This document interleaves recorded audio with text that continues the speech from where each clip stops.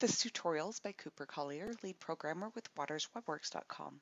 Please visit our TeamDesk expert listing if you need assistance or have any questions and we'll be happy to help.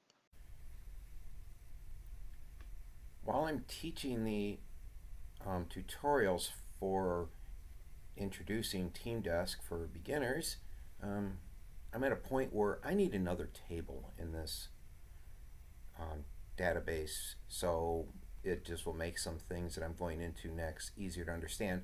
And to make that new table, I want the table populated with data. So I need to do an import of data. So I'm going to take this opportunity to show you how to import your own data. So what I have is a spreadsheet full of data. And I'm going to pop that up on the screen. And the spreadsheet that's saved like this.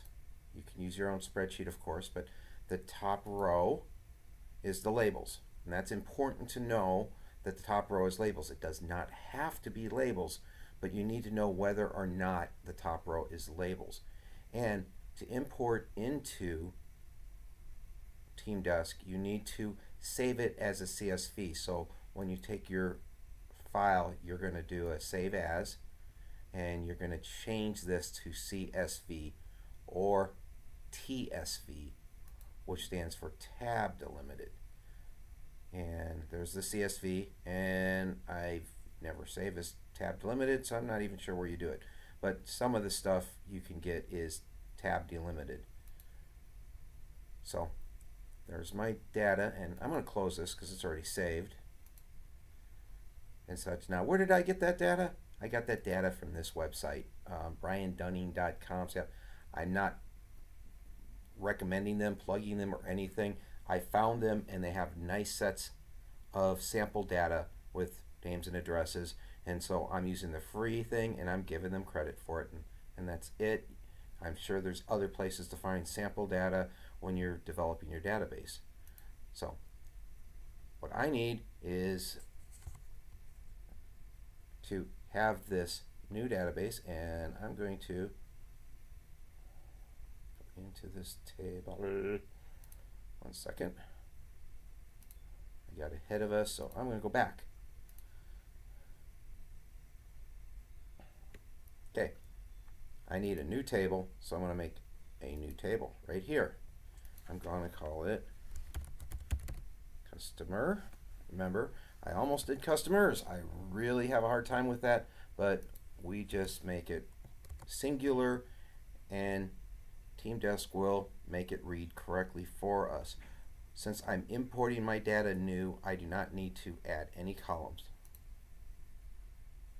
There's my new table. Now note, when I made a new table, there are some columns in there. If I look at customized columns, they're going to be the basic ID, those system columns. System columns are always going to be there. So, next step is I'm going to go over to tables and I'm going to import data into table right here. You can copy and paste. Uh, that works for small amounts of data, but typically you want to import data from a CSV or a TSV.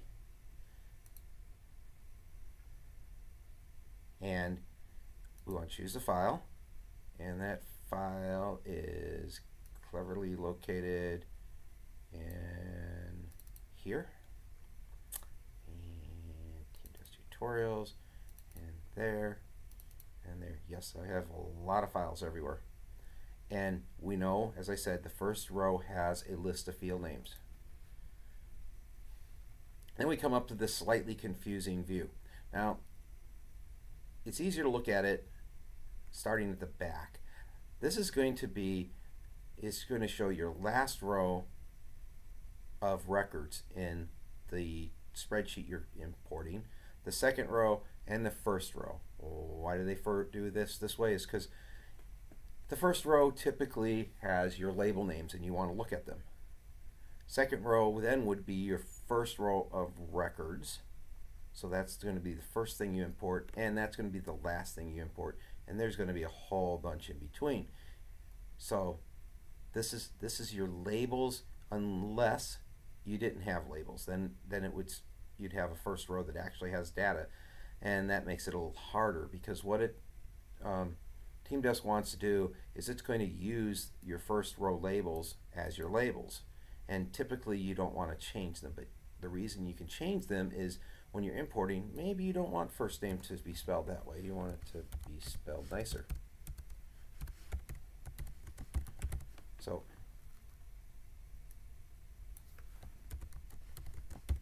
just like that. And I'm going to change that one to company. Simple. I'll leave the rest alone because you don't want to watch me doing them. The type is what it's going to create as your column type when it makes a new column. In this case, it is going to make new columns. And all these are text, text, text. Zip code is numeric.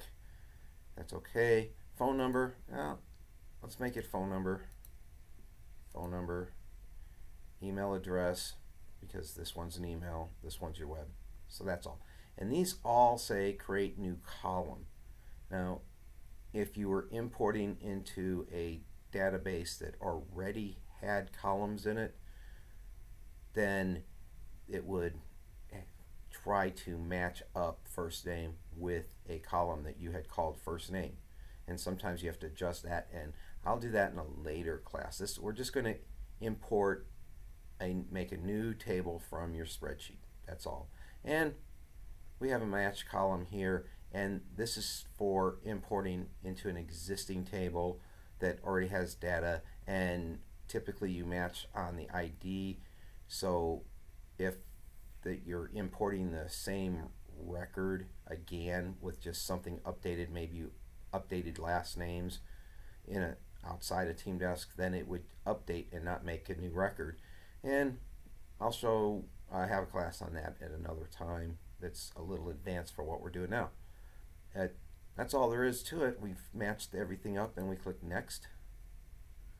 And what's going to happen is we wait a bit and it's at 500 records inserted. Finished. We're done. So I'm going to go back to the view and refresh it.